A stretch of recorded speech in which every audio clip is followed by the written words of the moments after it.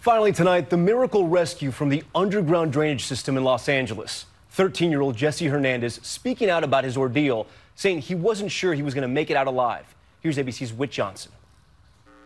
Tonight, the boy at the center of that miraculous sewer survival, saying he intentionally left rescuers a clue handprints along the pipe walls where he was trapped. To like see where I'm at and where I'm going. 13 year old Jesse Hernandez now talking about that 25 foot Easter plunge into a toxic current, receiving only scrapes and bruises, but fearing for his life. What were you thinking about during that time?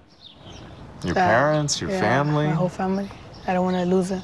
Then Jesse slogged his way more than half a mile to a hatch. There, he waited more than a dozen hours. This is a sewer. What was it, that? Smell, it smelled nasty. Smelled pretty gross, huh? Yeah.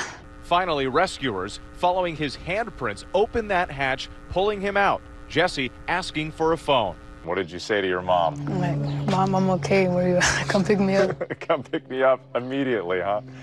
His father getting an unexpected apology. He says, Mom, don't get mad. I, I lost my phone. I was like, don't worry about the phone. the missing phone likely gone forever. The missing boy back home where he belongs.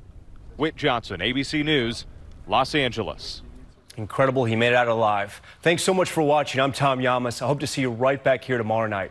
Have a great evening. Good night.